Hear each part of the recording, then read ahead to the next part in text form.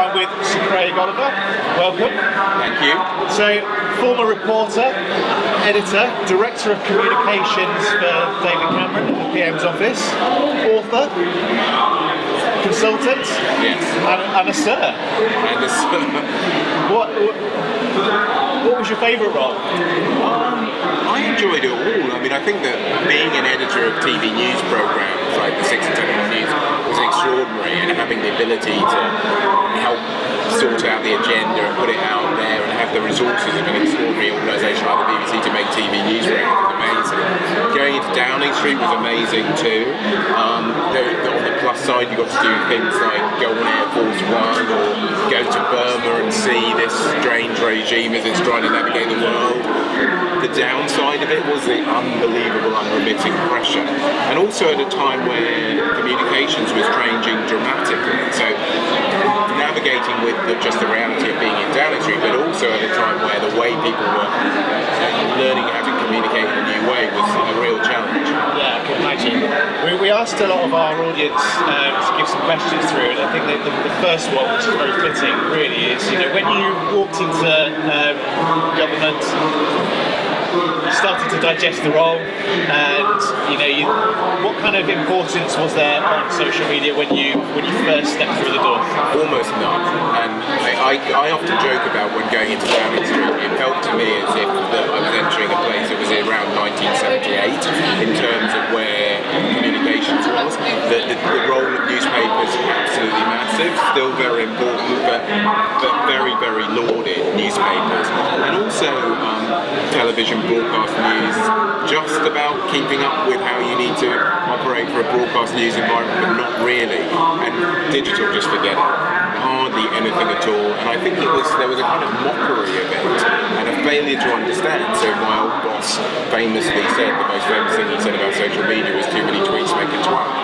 And I had to basically a help him to understand that that perhaps wasn't um, the most appropriate term that he should have used, but also that actually he needed to understand that digital was increasingly where it's at.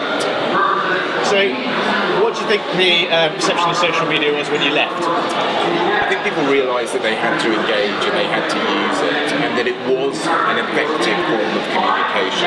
For me, what social media allows you to do is in a world where increasingly reporting is very agenda-driven or a worldview that an organisation has, it's very hard to get your what you want your story to be across. Just simply have that reported in a straightforward way. What social media allows you to do is communicate with a lot of people very directly. You absolutely need to be held to account by and that's a really important part of our society, and very important they have access to the Prime Minister the ability to report him.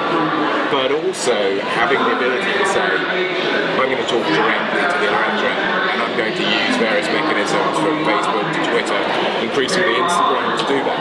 Brilliant.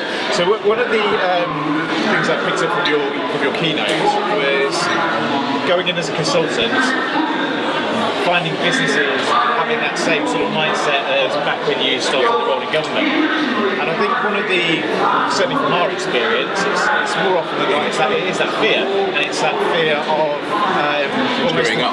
yeah, and the fake news, um, brand protection, all of this sort of. Yeah, so I think that just because you have a social media channel, it doesn't mean to say you shouldn't have more than one. And having a space where you are communicating clearly and effectively what the business is doing, not marketing, saying what is the business about, what is it doing, how is it operating, today we're doing this, today we're doing that, or responding occasionally, is a very important thing. But a lot of people, I think, are actually just quite basic in their thinking. Is that, yeah, we've got social media accounts, it's about marketing, that's what we need to do. And what they don't do is realise, actually, we need something across what the story of the business is. And I think that's particularly important when it, for a business enters a crisis. It's very easy for a business to enter crisis. And if they don't have a mechanism where they can just get their story across straight and quickly, that can be a real problem. So do you think businesses should, um, I mean, I can imagine from the uh, PM's account when, when things went out from number 10, you know, you must have had a healthy volume of trolling going on. Yeah. Do you think businesses should ignore it? Or do you think they should? I think a lot of people misunderstand trolling. It's like it's not necessarily the case that everybody sees what a troll does. In fact, often often these trolls have not that many followers, Yep. and if you don't engage with them when they're being abusive, also what you can do sometimes is rather than if somebody's got a legitimate concern or complaint, you might respond, or you might take that and push them in another direction of saying, here you go. But basically, the reality is you can use it to grow, put it on steroids, and make sure that all the key stakeholders in your business regularly see it. So being in the feed of the relevant journalists or the relevant policymakers or the relevant stakeholders, and just communicating and reminding them and finding ways to push it is an incredibly effective thing. And I'm always surprised that people are worried about it. And they get worried about it because there's lots of cautionary tales. I told them in this speech about people who basically taken the loaded gun of Twitter and shot themselves in the foot. People basically being stupid. They could have done that in print, they could have done it on broadcast, they could have done it in any number of ways. If you don't handle it with respect, you're going to end up in problems. But the key is to be able to handle it with respect, be able to, to communicate effectively and not stick your head beneath the parapet and to engage. Do, do you think, um, with the art storytelling, obviously having a background in journalism probably helps massively. Do you think businesses need to become better at telling story? Um, a lot of the time, social media, from a business point of view, is just viewed as a marketing channel. It's just pushing out messages. I think it's in, it, at the moment, I think more than ever, fill the vacuum or it will be filled for you, tell your story or it will be told story for you. The way I try and describe it to people is every person, every business has a kind of reputation or a thumbnail sketch, which may not be fair, but it carries around with them. It's amazing how that sticks and how difficult it is to move that especially if you're not engaging, especially if you're not communicating. If you sit in your ivory tower and allow other people to say your business is bad because of X, Y, and Z, and the only thing you do is try and defend yourself to the glory, don't present a countervailing positive narrative, then you can expect trouble. And you can expect your executives and people working in the business to spend a disproportionate amount of time trying to deal with that side of things because you haven't actually yet followed the basic hygiene still factors of working out what is your story and finding ways to tell it.